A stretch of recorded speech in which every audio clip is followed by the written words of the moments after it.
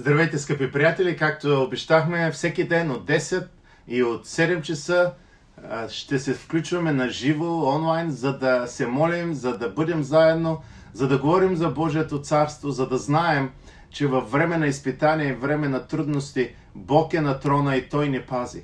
И днес, преди да продължа с молитвата, искам да прочета един материал, който ми прати Симеон – той го е чел с нощи в богослужението. Не забравяйте, че в Църква Света на Света богослуженията няма да престанат пред цялото извънредно положение, защото ние вярваме, че сме наследници на едни герои на вярата, които са ни дали пример. И ето какво е намерил Симеон в а, а, някъде, аз не знам къде, и го е превел. Буквално го чета и аз за първи път. Беше ми преразказано.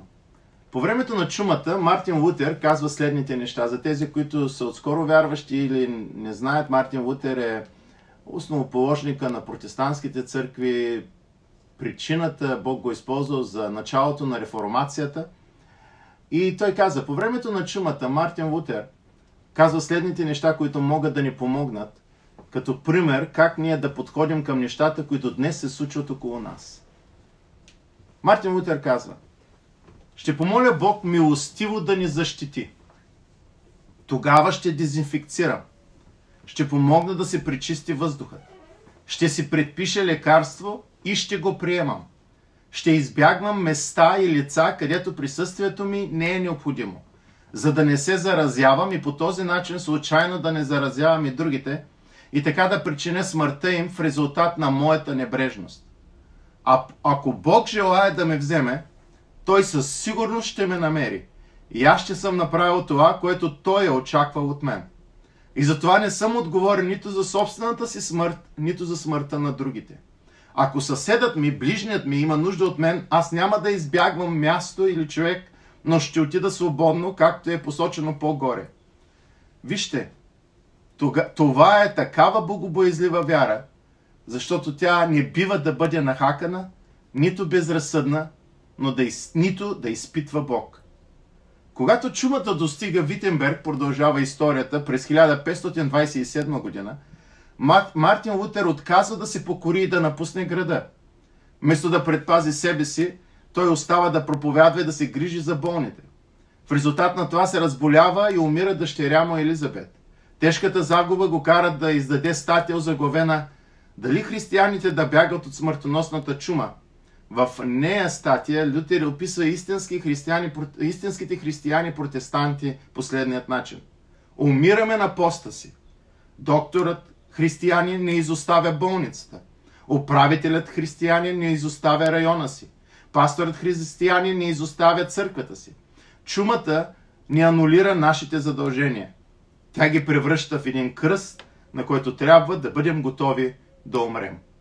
Слава да бъде на Бога, че времето не е като по време на чума. Врагът ни е почти същият.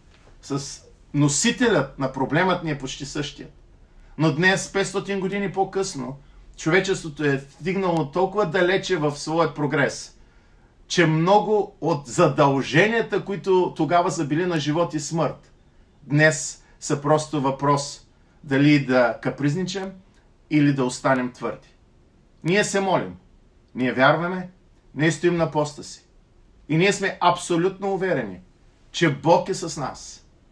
И ако Той е решил да ни вземе, ще ни намери.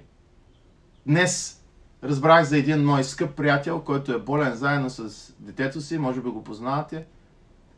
Няма да споменавам имена поради разбираеми причини. Разбрах за 40 човека,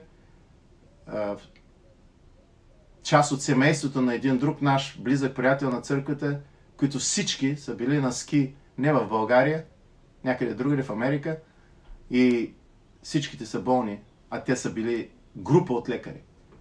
Нека се молим. Нека да вярваме. Лично аз изключвам всякакви електронни устройства и а, източници на информация, освен Божието Слово и моите включвания или на мен, или на Симеон – ще се редуваме и според заетостите и ангажиментите. Ще се включиме в 10 часа или в 7 часа вечерта. Обичам ви.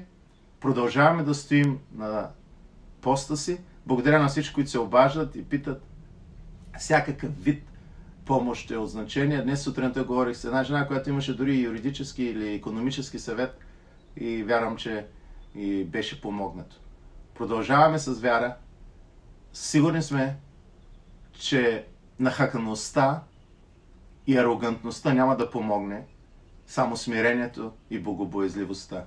Бог да ви пази. Нека да имаме заедно тази молитва. Отче, благодаря ти за тази възможност. Йов казва само за доброто ли да благодарим на Бога. Господ даде, Господ взе да бъде благословено името Господне. Днес ние се молим за здраве и живот. Днес ние вярваме, че ангелите са изпратени в семействата ни, сред нашите близки.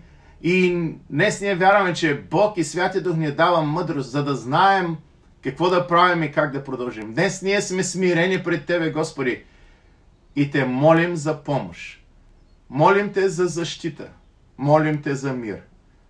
Ще стоим на поста си, вярвайки в пълната победа на изцеление, възстановяване не само на нас като личности, не само защита на нас като семейства, но и на цялото ни общество. Моля се специално за министър-председател, за президента, за всички управници и власти.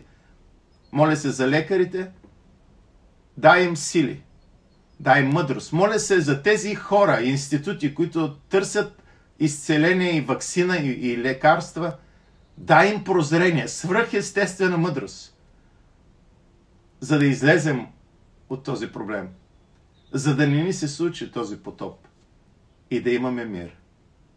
Амин. Бог да бъде с вас. Ние сме на разположение за въпрос, помощ, защита. Мир вам!